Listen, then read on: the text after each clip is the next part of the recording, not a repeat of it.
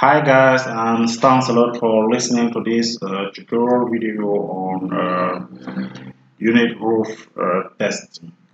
So uh, if you are listening to this uh, tutorial video it means that you are searching how to make unit root test uh, using SPSS. So in SPSS I suppose that you have a database port that have uh, different uh, different variables. So you have, for example, uh, oil prices, which is here. You have uh, oil prices month, uh, monthly basis here in our database. So to make a unit root test, you just need to go in uh, in a tab view and click on unit root test. Unit root test you click on it and you have a choice to uh, choose you have to choose uh, which which test you are going to do. Is it an augmented Dickey-Fuller test or an uh, Dickey-Fuller test?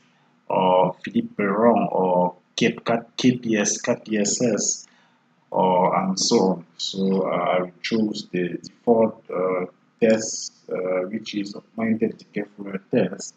So you also need to choose whether uh, you are testing in level, in first difference or in second difference. So uh, first different and second different tests are made uh, when you already test your series not to be uh, stationary so you can test whether or not uh, the theory is stationary in first or second difference. So you let uh, a, level uh, test test whether or not uh, a theory is uh, stationary at level. So you also have a choice to include the intercept in your, your theory or a trend and intercept or put anything. So we chose the, uh, uh, there are so many uh, uh series that are, that are trend stationary uh, or intercept stationary. So we choose the option or not to put any uh, anything in our series. So we just click on OK and the result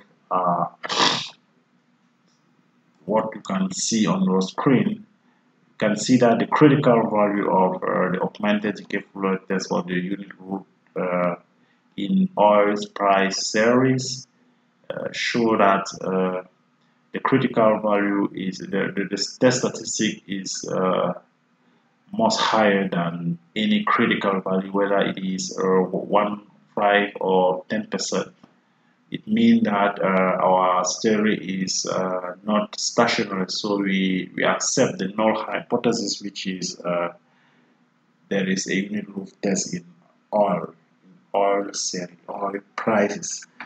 Uh, you can also uh, take a decision of accepting or, or, rejecting the null hypothesis using a p-value which is uh, at the last column of, of our table results.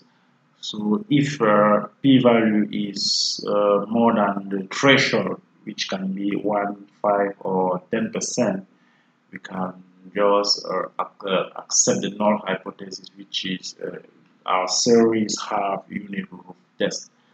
So uh, as our series, ha series have a unit root,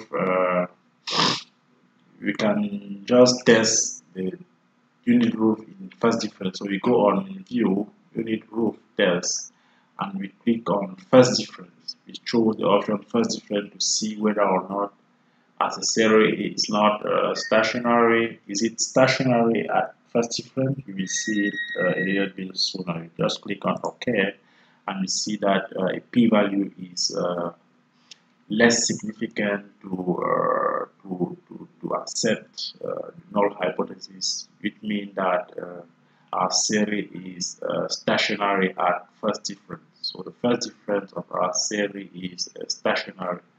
You see that uh, test statistic is of augmented uh, GK test is uh, less than uh, critical value at 1, 5, and 10%, which means that our series is uh, just stationary indifferent. So that's it for this uh, tutorial. I hope it helped you understand uh, uh, unit root test using SPSS and hope you will subscribe to my uh, YouTube channel in order to uh, discover more content or help me build uh, what kind of situation you, you what kind of tutorial you need in order to improve your, your statistic level.